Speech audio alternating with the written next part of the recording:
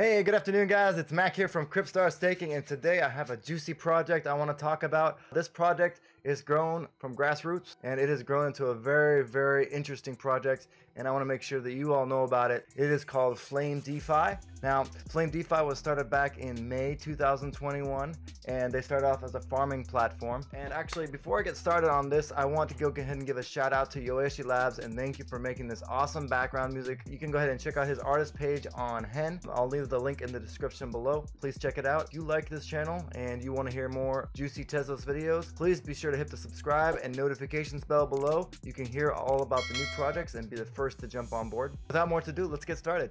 So first I'm going to take you guys to the Flame DeFi Twitter account right now because they have a really awesome campaign running. It is a contest to win Braze, our second space farmer. Now each space farmer made, there's only been two made so far, is actually made by separate artists that are sponsored by Space Farm. They have them make these unique characters that they're going to sell and later these characters are going to be used on the Space Farm DeFi play to earn gaming platform which is going to launch sometime after the DEX launches. Now they have a campaign right now. You can go ahead and retweet and follow these directions to try and earn this new Braze farmer. It looks like there's not a whole bunch of uh, participants right now. So I just wanted to raise awareness and let you guys know that Right now, uh, this space farmer has been sold on the, the, secondary market for quite a bit. So you can see it's it's sold initially for 35 TES. However, it has been resold for 250 TES and various other amounts here. Make sure to jump on that. From what I heard from the creators is that you're going to be able to stake this space farmer for flame or have some other, it's going to be one of the strongest characters in the game that they're making in the future. One of the biggest reasons for this was because they wanted to go ahead and help out the artists and get the artists more exposure. So please support Flame DAO and their new NFT listing. And next, I want to go ahead and go into their, uh, we already covered their website, so this hasn't changed much since my previous video. If you haven't checked it out, please check it out. They're now going through a flame distribution phase, okay? Quarter three Space Farm launches. Actually, this is already launched. So quarter three for the Flame DAO Dex. Now, Flame DAO Dex, they recently made an article about it. And this is kind of regarding the current development phases. So Right now, they're going through the, the distribution phase. This is a great time to jump on Flame and get some Flame DAO.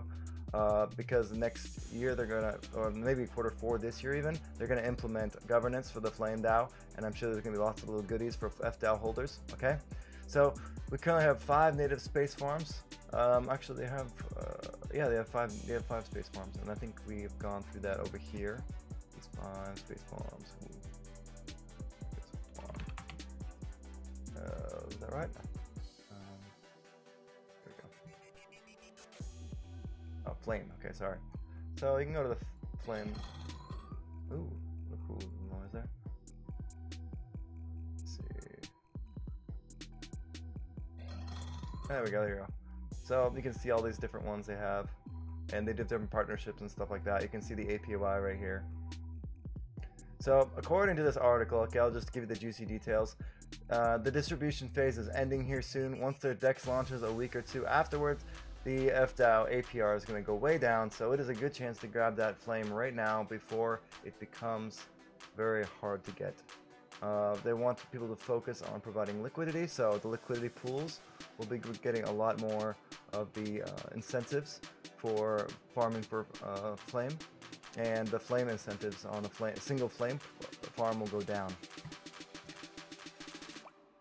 Okay, so right now they're working on the Flame Dex. Their goal is to be the first uh, AMM with an API to provide token and XTZ pair and uh, token token pairs. So it looks like they're gonna go like a different way from Plenty. Uh, Plenty was going was actually they didn't create uh, they just went from token to token and they didn't use XTZ to the, their main token. Um, so if, if, if, they do a if, if Flame DAO can do an XTZ to Flame, uh, pair along with a uh, flame to other token pair. I think that would be very good for Flame DAO or the, for the space farm and also if they can be the first ones to have an API that would be awesome as well. I do know there are also a couple other projects that are working on that right now. Now, the flame dex will help burn a lot of flame because this, the uh, I'm, I'm, guessing uh, that their flame dex is going to use the fees that will actually burn flame in the process. So after the Flame Dex is done, the governance platform Flame Dex launches. So from there, you can use your FDAO tokens to vote on different proposals. And from there, they're planning to also build a game. So this this recent F NFT launching, that's going to be included in the game later. So if you want to get the the, the game the game uh, Space Farmers cheap now, uh, make sure you go ahead and enter that contest and try and win yourself a Space Farmer. Okay, so their their ambition is simple: become the biggest DEX on Tezos.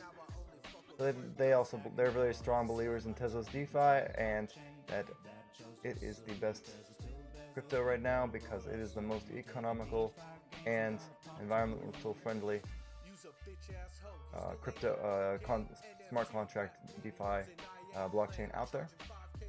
All right, and their catch slogan is be, be ready, it is just the beginning. Will you be a part of Tezos history? Yes, I will.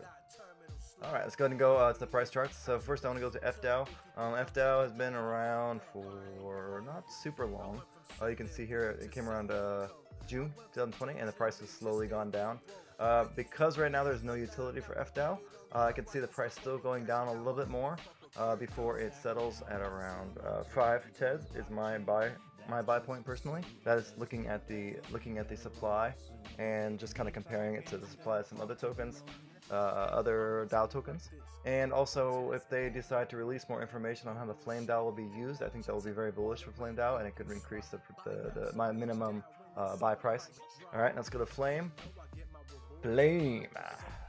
All right, so Flame is very interesting because they did not have a super inflationary uh, model like uh, Plenty and some of the other tokens out there.